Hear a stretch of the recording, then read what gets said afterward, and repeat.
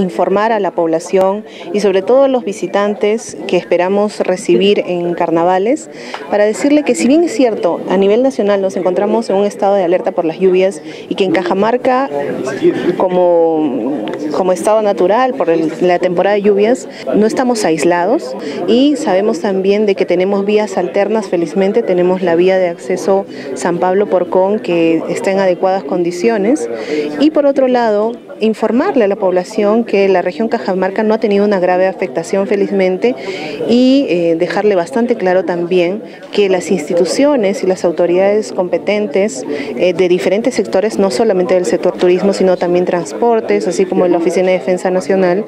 nos encontramos trabajando de manera coordinada para actuar ante cualquier emergencia y poder brindar la seguridad eh, del caso. Que no tengan miedo a quedarse varados, pues hay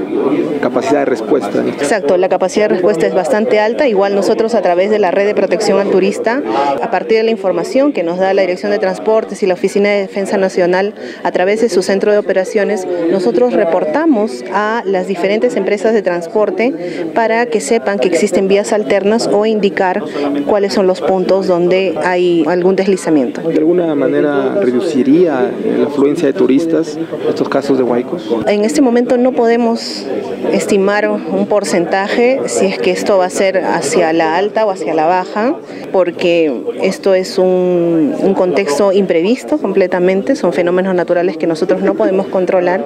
y por eso es que nosotros hemos salido como instituciones para decir que Cajamarca no está aislada, Cajamarca no tiene una grave afectación y que todas las autoridades estamos trabajando por la seguridad de los turistas. El mensaje final, Cajamarca no está aislada, pueden visitarla. Así es, las actividades del carnaval están normal, no hay ningún inconvenientes, hay un desenvolvimiento completamente normal, las fechas son las mismas y reiterar la invitación a los carnavales, a los visitantes. Cajamarca es una región que los va a recibir con los brazos abiertos y sobre todo velando por la seguridad de cada uno de ellos.